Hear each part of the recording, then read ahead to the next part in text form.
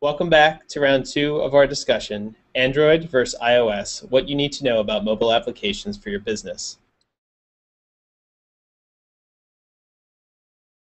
Android is an open source operating system, uh, and that's lent itself to being uh, used on a wide variety of devices, everything from wristwatches to smartphones to tablets. And even Intel has announced in the, the next year or so that they're going to be putting uh, Android in a um, uh, laptop. So it's a very diverse uh, in terms of the hardware and vendors out there.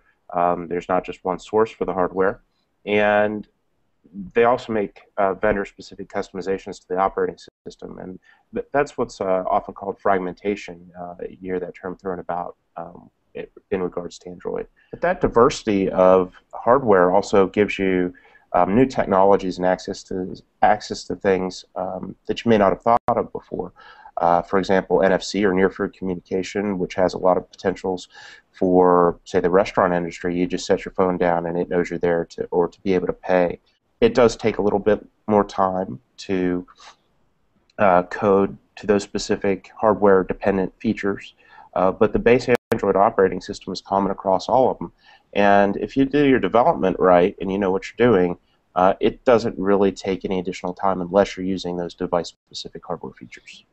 Geoff, can you tell us a bit about iOS and the different software and hardware features um, that it provides? Well, most of the devices are similar. Uh, Apple controls both the software and the hardware, so you don't have quite the level of diversity between the devices and uh, and the features that each support.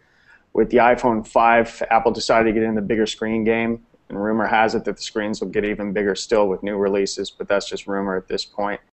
Uh, I think the bigger screen sizes on Android ended up being a pretty successful feature. So Android, I mean, uh, Apple decided to follow suit with that.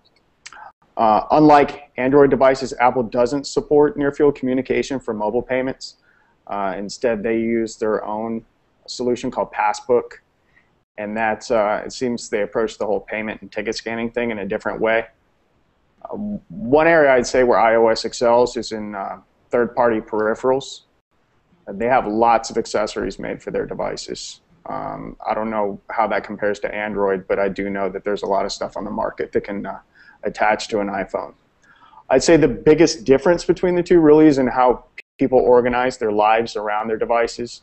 Apple users tend to have iPods, iPhones, iPads, Macs, um, and all the devices sync across iCloud and Android, Android users tend to use uh, a whole suite of different services, mostly go Google services for organizing their lives.